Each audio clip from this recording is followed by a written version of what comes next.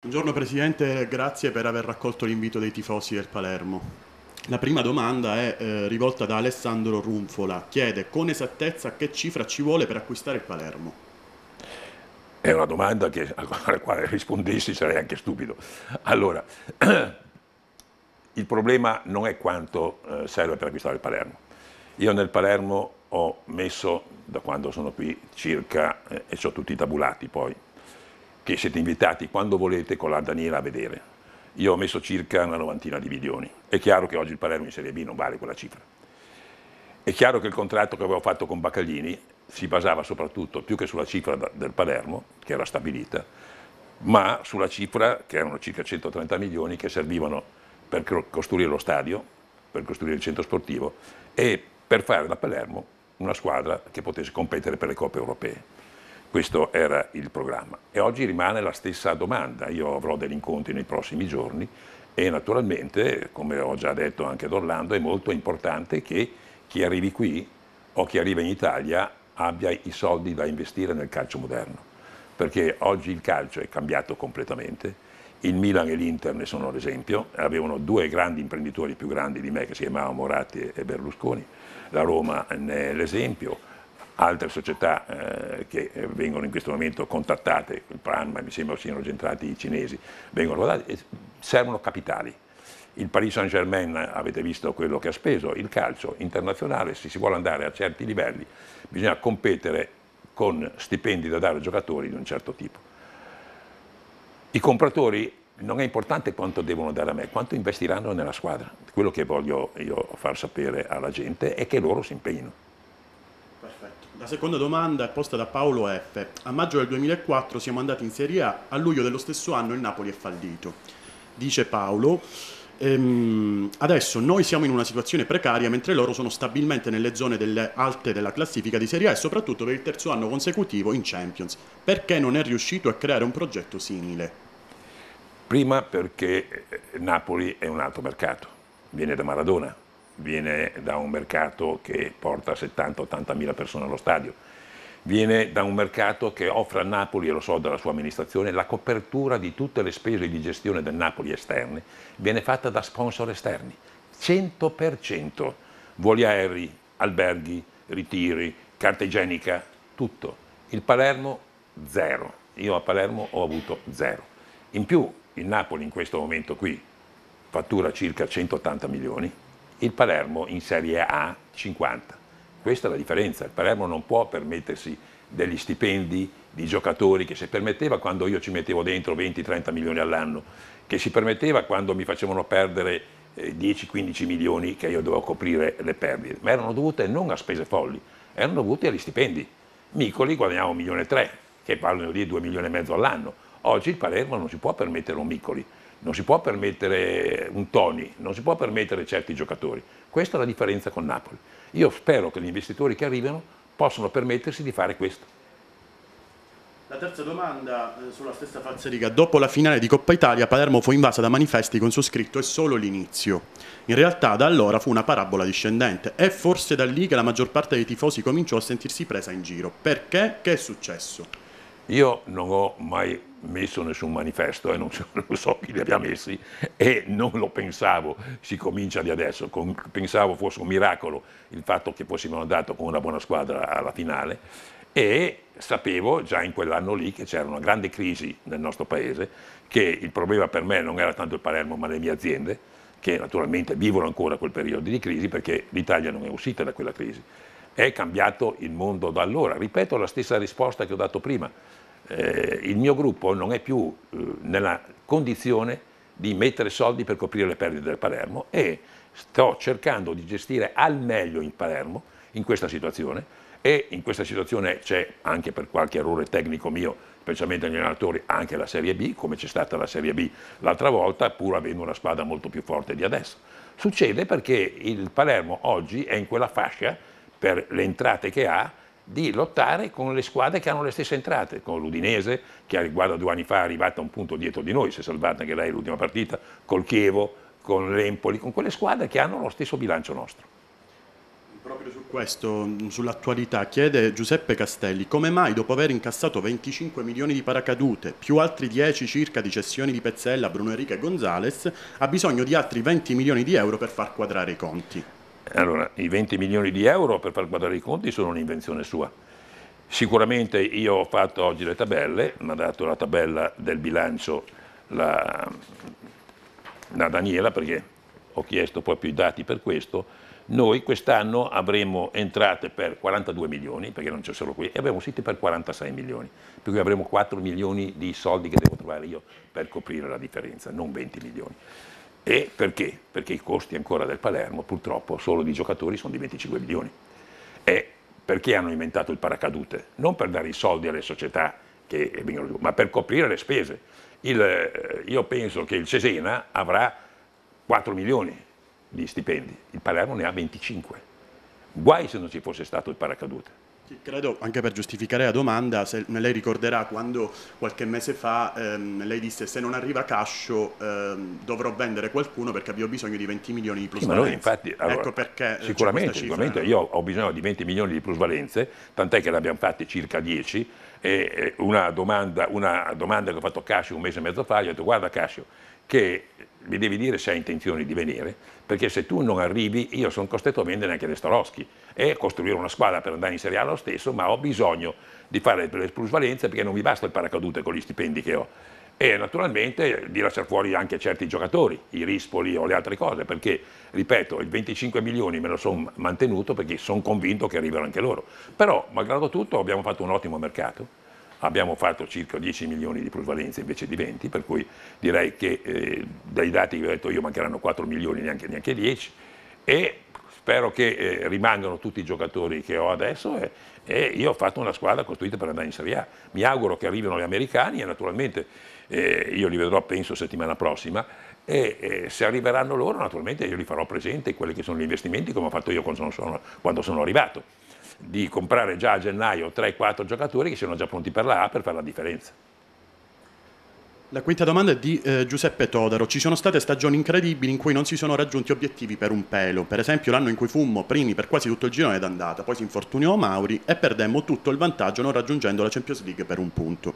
Bastava acquistare un attaccante ma lei non lo prese. Molti tifosi le rimproverano anche questo. Il fatto che in tante occasioni sarebbe bastato poco per regalare un sogno, ma quel piccolo sforzo non è mai stato fatto. Perché? Allora, eh, non posso andare nel bar sport a sentire che loro vogliono comprare una, una, punta. Se non è stata comprata una punta è perché noi pensavamo, essendo mi sembra, avendo girato a dicembre a 38 punti, in eh, 19 partite con 2 2 ed era un miracolo, l'ha detto anche Guidolin che era un miracolo. Siamo andati in, eh, in ritiro in, eh, in, Spagna, mi ricordo, c'era Piero Grasso con me, e siamo tornati indietro irriconoscibili. Abbiamo perso 3-0, mi sembra, con la Sampdoria, la prima partita del girone di ritorno era una caratteristica anche di Guidolin. Stranamente le sue squadre, il Bologna prima e non mi ricordo che altra squadra, avevano fatto lo stesso percorso, che facevano un campionato eh, girone di andata favoloso e un girone di ritorno deleterio, tant'è che a, a Bologna lui fu esonerato e eh, ebbe delle, delle grosse difficoltà. Dire che il Palermo di quell'anno era a 38 punti per Amauri è falso, tant'è che Amauri poi nella Juventus non si è rivelato un Dybala, si è rivelato un buon centravanti. E eh, direi che abbiamo fatto un miracolo il girone di andata, difficilmente percorribile il girone di ritorno, tant'è che se voi andate a vedere le mie interviste di quel periodo, io dicevo che noi dovevamo combattere per andare probabilmente nelle coppe europee, ma non per lo scudetto, che era impensabile. E naturalmente eh, noi siamo andati in Coppa UEFA, che era un ottimo risultato per il Palermo. Andiamo avanti. Eh, Francesco Cimo chiede: è mai stato geloso della popolarità dei suoi allenatori? Delio Rossi, per esempio, per, motivo per quale motivo lo ha mandato via? Era un allenatore scarso o le dava fastidio che i tifosi lo amassero? Vede, una delle cose che io non ho mai fatto è essere sui social e coltivare la stampa. Io sono sempre stato Zamparini per quello che sono, nel bene e nel male, soprattutto una persona molto onesta.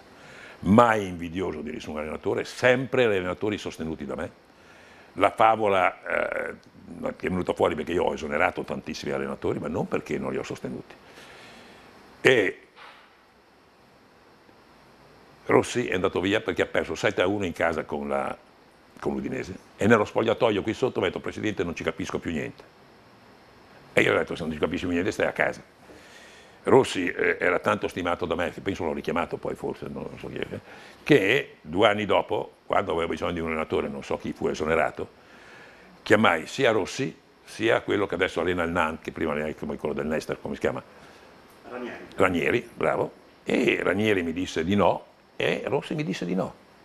Prese due, due giorni di tempo, poi mi disse che non se la sentiva. Io prima di prendere, penso Gasperini, presi quella volta, avevo chiamato Ranieri e, e, e Rossi, per cui Rossi è un allenatore che ho sempre stimato, anche se la sua carriera dopo di me non ha portato a niente, così come tanti altri allenatori che noi abbiamo visto, Iacchini non lavora, eh, Ballardini non lavora, eh, De Renzi non lavora, eh, Corini è andato a Novara in Serie B, insomma, non è che abbiano fatto delle carriere, è che io fossi un visionario, Sicuramente io prendo delle decisioni, molte sono sbagliate, io ritengo che l'anno scorso sono andato in Serie B perché ho sbagliato, specialmente agli allenatori, e specialmente uno che mi ha fatto arrabbiare, che era Ballardini, che mi ha fatto arrabbiare perché diceva che voleva andarsene via, perché mirava più soldi, e io sentendo l'orgoglio e non il cervello l'ho lasciato andare via. E ho sbagliato. Gli altri, gli altri hanno mandato in Serie B. Con Ballardini probabilmente insomma, il campionato avrebbe preso un'altra piega. Con? Con Ballardini diciamo, Sicuramente aveva l'esperienza per farlo. Andiamo avanti. Kurkovic chiede Carlo Forestiere perché in questi ultimi anni è stato così vicino a lei e eh, perché nonostante non gli abbia fatto fare grandi affari, rifinandole spesso giocatori scarsi, ha continuato ad essere il suo fidato consigliere. Allora, io non so chi abbia alimentato la favola del mio amico Kurkovic. È una favola che hanno alimentato non so da chi qui a Palermo. Lui è stato per anni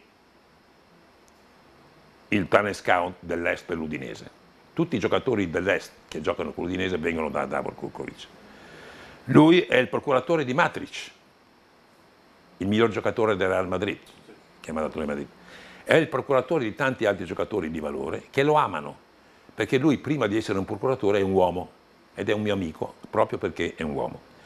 A me ha dato Traikowski, costo un milione, valore oggi 2 milioni circa. Posavec, costo 500 mila euro, forse di meno, valore oggi 3 milioni.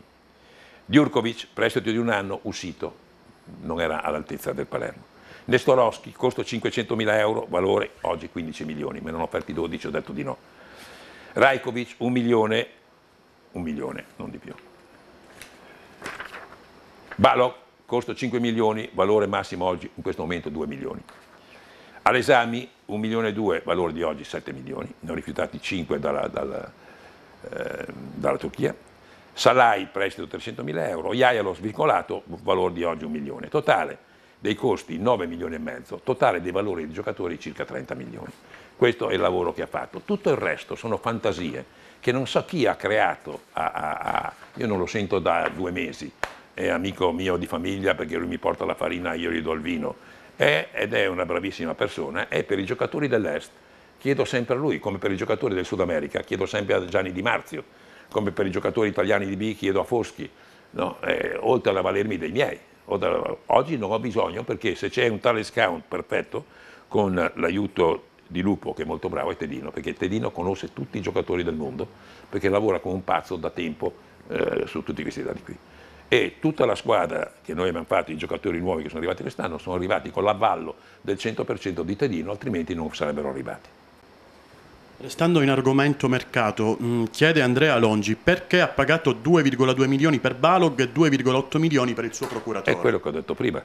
Oggi se c'è un problema grosso che c'è nel mondo eh, del calcio sono i procuratori, lo sapete sempre. Io sono in battaglia eh, con i procuratori da circa 3-4 anni, mi hanno fregato con Pastore, mi hanno fregato con Dybala, mi hanno fregato anche con Balok. Tant'è che il milione e otto di quei non è, non è, stato pagato, sono stati pagati 3 milioni e 2. 2 milioni e 8. È a bilancio questo, sì, questo dato? Sì, eh? il costo a bilancio, ma non sono stati pagati ancora. Uh-huh. E sono purtroppo giocatori che vengono pagati così. Io Di Bala l'ho pagato 12 milioni, mi davate tutti del cretino, fino a quando Di Bala non è stato venduto a 40. Pastore l'ho pagato 6 milioni e mezzo dalla metà, mi davate tutti del pastore tedesco, fino a quando non è stato venduto a 42. Io penso che Balog, eh, che oggi è infortunato, quando è arrivato Tedino mi ha detto guardi ho visto Balog nella nazionale, penso sia il, valore, il, il giocatore di più grande valore tecnico che abbiamo in squadra, cercherò di farlo diventare un giocatore. Io lo spero e spero di dire il perché Balog l'ho pagato quella cifra. Naturalmente io non ho mai visto Balog giocare, ho mandato il direttore sportivo di allora, che era Gerolin, ho mandato uh, Di Marzio a farmi le relazioni le relazioni erano di un ottimo giocatore, c'è l'Ajax in computa con me con lo stesso prezzo e mi sembrava di aver fatto un gran colpo fregandolo all'Ajax. Andiamo avanti. Eh, Marco Iona chiede: la cessione a Baccaglini è fallita perché la nuova cordata non l'avrebbe inclusa nel progetto di costruzione di stadio e centro sportivo?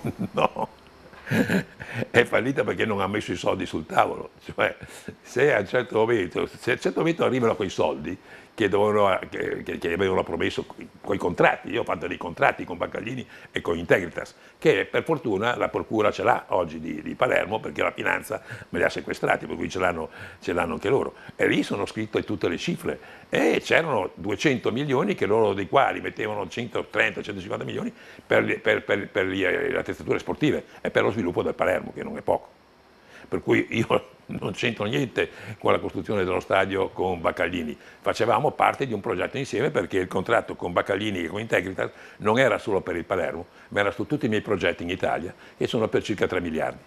Quindi non c'era un interesse, non ci sarebbe neanche oggi no, assolutamente eh, no. sulla costruzione. Cioè, l'unica, cosa che, che, che, a me farebbe piacere è vedere costruire uno stadio a Palermo perché voglio bene a Palermo, ma non perché deve essere Senza mio. Non me ne frega niente. Ok, Fabrizio Mancuso chiede che senso ha avuto nominare un presidente ancora prima di cedere la società. È stato un modo per distogliere l'attenzione dall'imminente retrocessione? Vede, quando io ho firmato il contratto, questo è uno scoop credo, perché è simpatico, quando io ho firmato il contratto con Baccaglini, uno il 9 di eh, febbraio come gruppo su tutti i miei progetti e uno il 24 di febbraio sul Palermo, Dopo il 9 di febbraio, siccome quello di febbraio era basato su tutti i miei progetti, era basato su una linea di credito di circa 2 miliardi che BlackRock dava per creare eh, liquidità per i progetti, un contratto fatto con loro, quando oh, Baccaglini mi ha detto guarda è stata fatta, eh, stanno arrivando i soldi da Singapore, eh, per queste operazioni che abbiamo fatto e ok, ho detto allora, se tu l'ho fatto mi dici ok puoi fare anche il presidente così cominci a prendere ed era quasi una prova per vedere se quello che mi, che mi aveva scritto era vero per me il fatto che lui ha accettato di fare il presidente e di andare da Orlando a dire che faceva lo stadio e faceva di andare dal, all'università, di andare da tutti dove è andato, mi rendeva tranquillo, diceva non può andare a dire delle cose fasulle. Purtroppo oggi si sono dimostrate fasulle. Io non è che ho messo lì Baccaglini per coprire qualcosa, anzi, purtroppo quando dopo l'Udinese io ho chiamato, ho chiamato uh, Baccaglini e gli ho detto guarda che bisogna mandare via, uh, perché io avevo già chiamato Ballardini, eh, eh, bisogna mandare via Lopez perché l'unica possibilità di, di, di salvarci è, è tenere eh, Ballardini, lui mi ha risposto no, qui comando io, faccio il cazzo che vuoi, anche non era vero. E l'ho lasciato fare, siamo andati in Serie B. Simone Lima chiede, mm, da anni dice che vuole vendere, però è sempre frenato da motivi che a noi sembrano alibi. Una volta dice che i compratori ci avrebbero portato in eccellenza, un'altra volta che non avrebbero costruito lo stadio, altre che non davano garanzie per il futuro. La domanda è questa, ma a lei di quel che faranno i suoi successori, che gliene importa? Perché non si prende i soldi e si ritira in buon ordine? Ma se, lui, se lei è contento che io mi prendo i soldi e poi il Palermo non abbia un futuro, il fatto che io mi preoccupo del futuro del Palermo mi preoccupo anche per lei che mi fa questa domanda e per voi. E dovreste essere molto preoccupati anche per voi, non dei soldi che prendo io. Ecco, io non, non riesco a capire questa posizione. Via Zamparini è al suo posto chi? Antonio Muso chiede, ha detto che non ha società a Londra. Come giustifica le tre società intestate a lei con 10 milioni di capitale ciascuno? Mm, sarei felice di avere 10 milioni di capitale ciascuno, avrei, vorrei dire che avrei 3, eh, 30 milioni di capitale. Eh, Mediagol mi ha mandato un'altra, un'altra domanda dove uno dice guarda perché avete costituito tre società a Londra la mattina e le avete chiuse il giorno dopo? Eh, ho detto sono affari non del Palermo Calcio, sono affari del mio gruppo perché aveva aperto tre conti correnti eh, con tre società per delle operazioni finanziarie che poi non sono andati a buon fine e l'ha chiusa subito, chiuso, punto ma non esistono 10 milioni. Eh, se, se, tutto va a sentire però quello che dice la stampa, io l'ho imparato dopo che è venuta la Guardia di Finanza dal giornale il giorno dopo che avevo 30 milioni nelle banche inglesi, magari.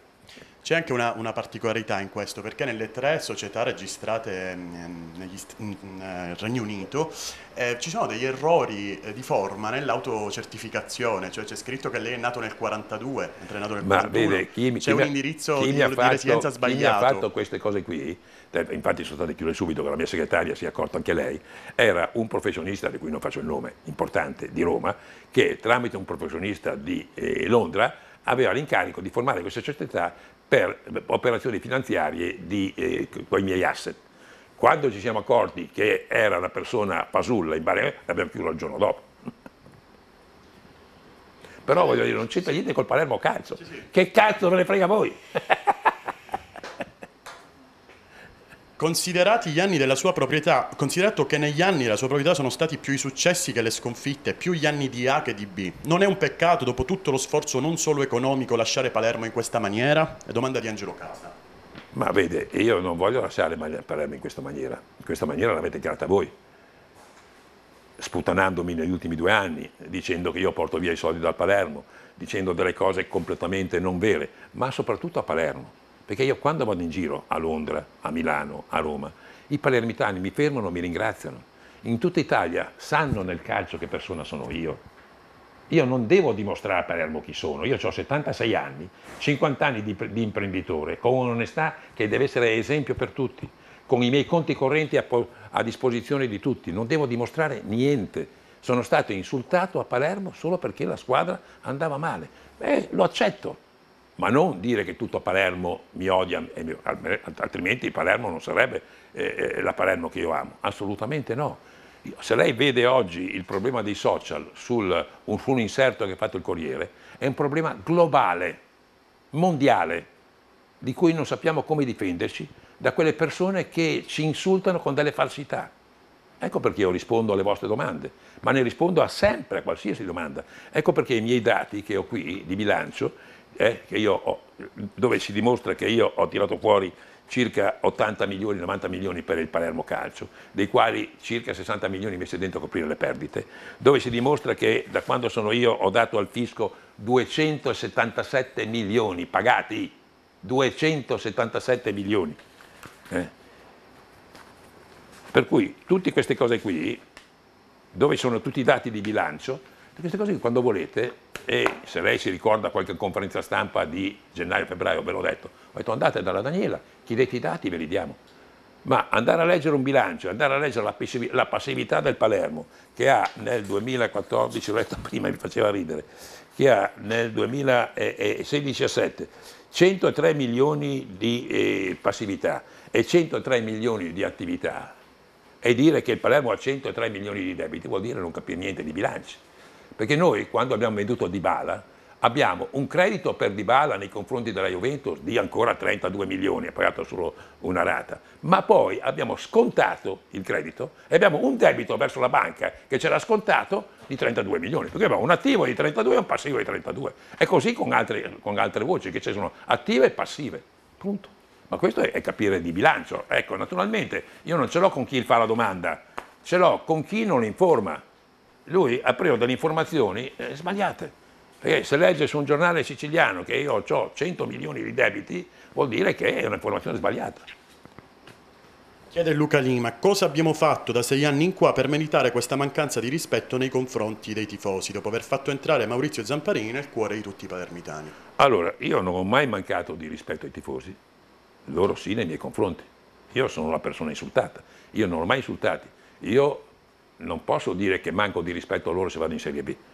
Manco di, di rispetto. Allora, voglio dire, eh, quello del, dell'Empoli è mancato di rispetto con i tifosi, quello del Pescara ha mancato di rispetto con i tifosi, quello del Verona l'anno scorso ha mancato di rispetto con i tifosi. Succede.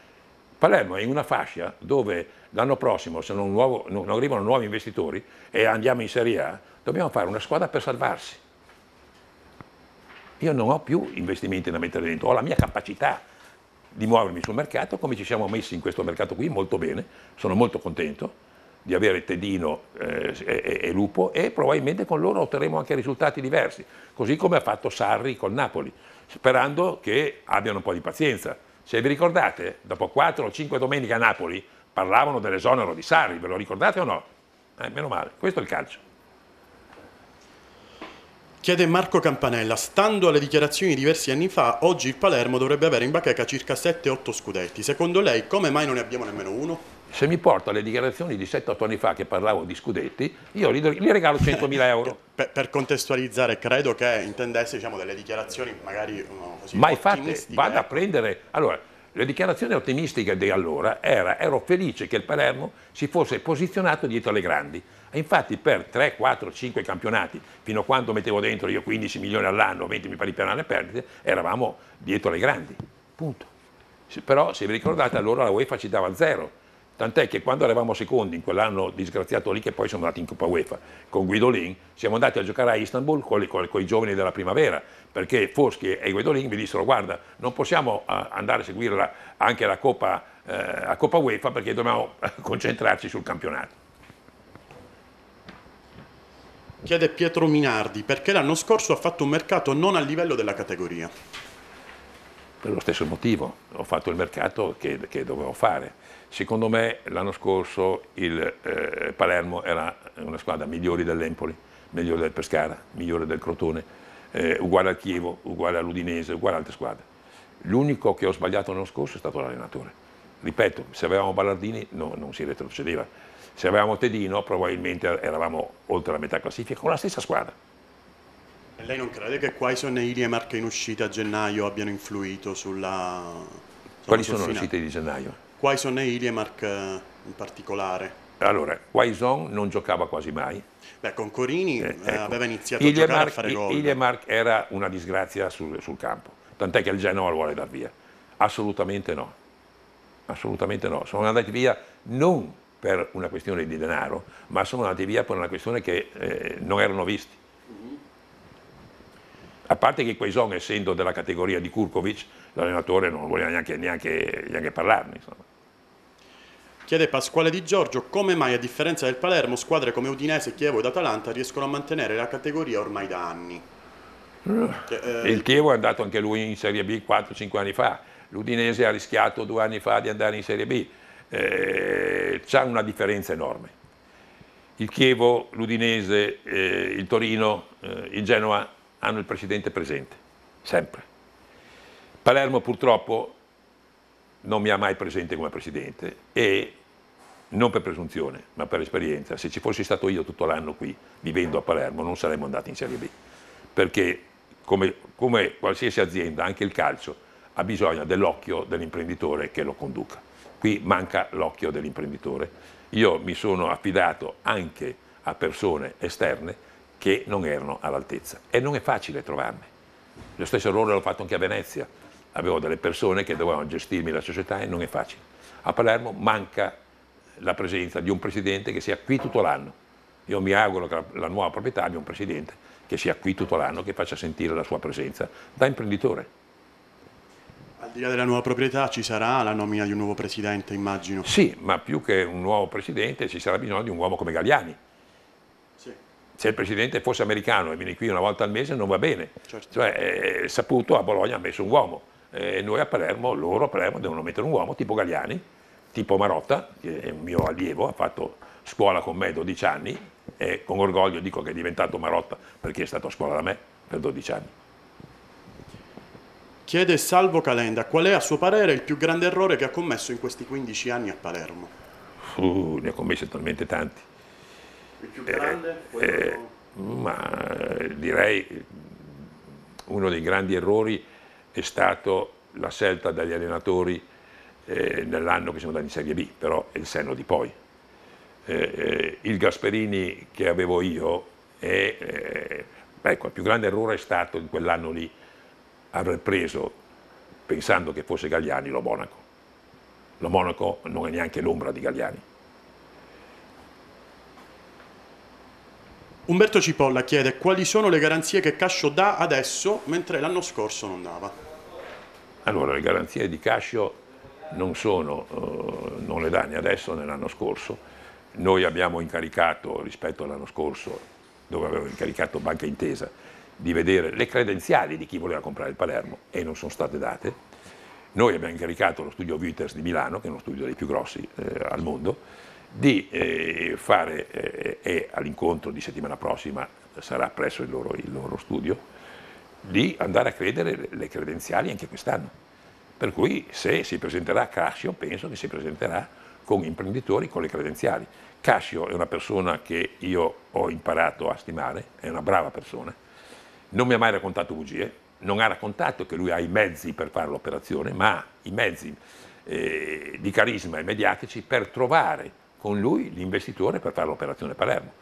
Tant'è che io gli avevo detto, caro Cascio, se non li trovi, costruiamo lo stesso insieme qualcosa, perché tu sei un testimonial che ci può permettere con un viaggio a, a, a New York fatto con Orlando, magari con Piero Grasso, con me e con te, di raccogliere un fondo di tifosi eh, palermitani, che ce n'è milioni in, in, America, che prendono con questo fondo, alimentare il fondo per prendere il Palermo. Per cui è una strada percorribile, è una strada che io pensavo di percorrere anche all'interno di Palermo, ma non è possibile. Per cui se degli imprenditori di Palermo vogliono venire dentro, non dare dei soldi a me, ma mettere dentro i soldi nella società, entrare dentro a fare il presidente, a fare la gestione, ben vengano. I, i miei soldi li posso prendere in dieci anni, non c'è problema. Mm, chiede Maurizio Russo, non crede che cedere adesso l'Ofaso potrebbe rappresentare un errore simile a quello commesso con Belotti? Allora, eh, Belotti è stato ceduto perché Iachini mi diceva che andava ceduto in quanto che non, non sarebbe mai diventato un giocatore. Lo credevo un poco anch'io perché uno degli errori gravi che ha fatto lo staff di Iachini, non Iachini, è stato, se vi, se vi ricordate, ingobbire Belotti. Belotti, l'ultimo anno che era con noi, non era il Belotti che è arrivato non saltava più di testa, non andava via in progressione, eh, sbagliava tutti i passaggi, sbagliava un casino di gol, mi ricordo, ma, era Belotti che era sempre in zona gol. Tant'è che a Torino alle prime 6-7 partite, 8 partite non ha giocato. E Cairo mi ha chiamato, mi ha detto mi hai dato un bidone. E ha detto aspetta, ha avuto un grande, un grande merito riportarlo fisicamente a quello che è Belotti. Belotti è un grande giocatore fisico con una grande fisicità. Per cui eh, do faso L'Ofaso dovete chiedere all'Ofaso cosa vuol fare.